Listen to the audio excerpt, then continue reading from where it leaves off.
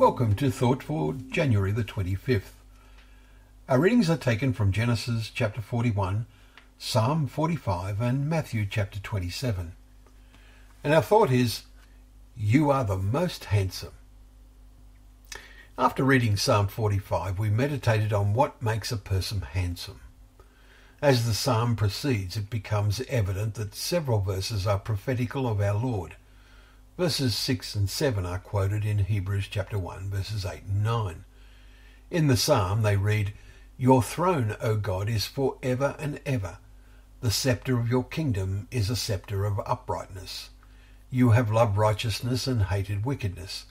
Therefore God, your God, has appointed you with the oil of gladness beyond your companions. This puts the relationship between the Almighty and His Son in its true perspective. But are verses 2 and 3 also prophetical of Jesus? You are the most handsome of the sons of men. Grace is poured upon your lips. Therefore God has blessed you forever. Gird your sword on your thigh, O mighty one, in your splendour and majesty. This, of course, is in contrast to Isaiah 53, which is so evidently prophetical of the Lord when it says that he had no form or majesty that we should look to him, and no beauty that we should desire him. Verse 2.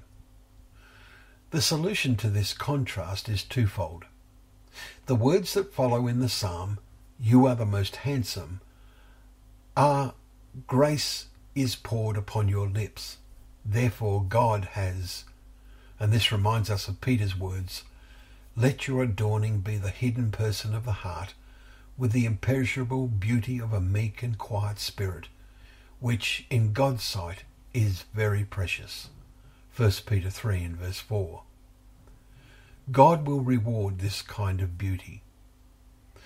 We read yesterday how because Joseph was handsome in form and appearance, Genesis 39 verse 6, it proved to be to his disadvantage. But today we saw a contrast when they quickly brought him out of the pit. Chapter 41 and verse 14. And when he had shaved and had new clothes, he was brought before Pharaoh. Exalted to a position of honour before Pharaoh, did not these developments foreshadow in type first the humiliation and then the exaltation of Christ?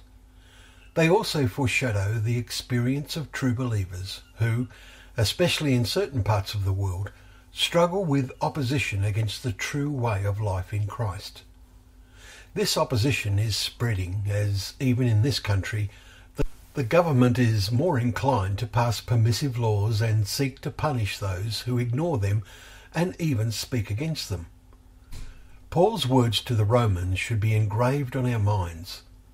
Do not be conformed to this world, but be transformed by the renewal of your mind, that by testing you may discern what is the will of God, what is good and acceptable. Chapter 12, verse 2. Our daily reading of God's Word enables us to properly perform the testing and become handsome in mind and be ready for the time when our Lord will gird his sword. Well, thank you once again for joining us for Thought for the Day, where together we can open up the pages of God's Word as we remember they are a lamp to our feet and a light to our path.